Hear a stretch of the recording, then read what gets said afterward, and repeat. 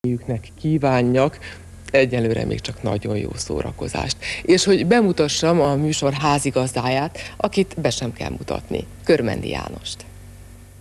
Jó estét kívánok! Hát kérem, én arra gondoltam, hogy ma este nem vállalok se fellépést, se haknit, igaz nem is hívtak, mindegy, leülök ide a tévé elé pontosan úgy, mint önök, az ország egyelőre józanabbik része, és nézem a műsort. Kérem, a szereposztás parádés és nagyon ígéretes Gálvölgyi Ker nagybandó, Hauman, Bodrogi, Tahitót László, kérem, Balázs Péter, Körm.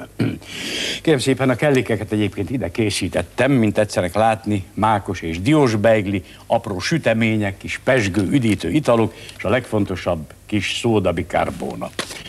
Hát igen, betyár nehéz év áll mögöttünk, de hogyha az utolsó pár óra jó lesz, minden meg lesz bocsátva. Most pedig tessék engem szórakoztatni. Ma délután az Üllői út egyik mellékutcájában eszméletét veszítve összeesett a népszerű színművész. A járókelők bevitték a közeli klinikára, de ott hiába próbálták életre kelteni.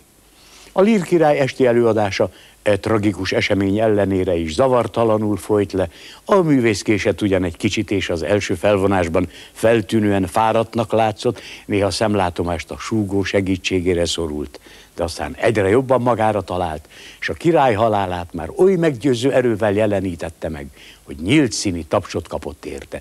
Utána hívták vacsorázni, de nem ment, azt mondta, ma nehéz napom volt. Biztosíthatjuk önöket, Gálvölgyi Jánosnak nem volt olyan nehéz napja.